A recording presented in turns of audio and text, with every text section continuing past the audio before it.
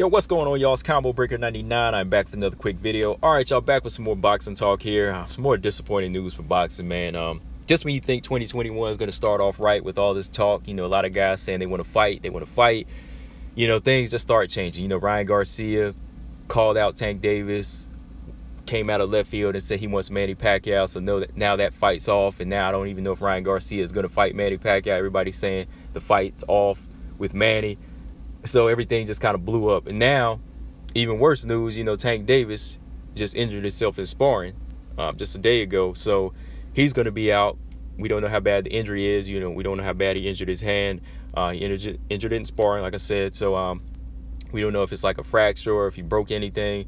So right now, his return to the ring is up in the air. We don't know if it's going to be, you know, summer or by the end of 2021. It might be summer or the or the fall.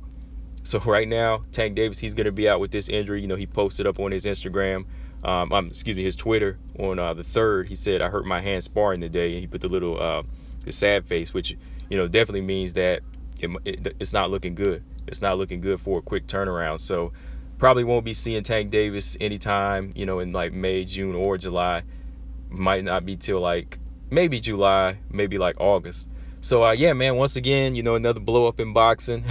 you know, like I said, Ryan Garcia, he's um gone this this way over here, which I'm going to talk about in another video. You know, he's talked himself out of a tank fight for a Manny fight, which, like I said, I don't even know if that's going to happen.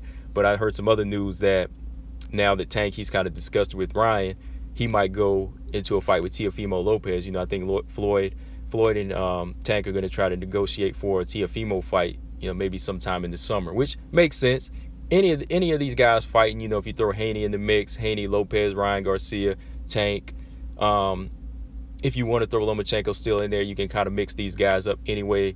Anyway, you mix it up, it's going to be a good fight and it's a necessary fight, you know. Uh, so uh, yeah, man. But uh, anything else comes out on this news, you know, I'll let y'all guys know. But as of right now, he he just tweeted out that you know he suffered a hand injury in sparring and his return is still up in the air. But if you know anything else, guys, let me know in the comment section. Combo Breaker 99. I'm out. Subscribe. Peace.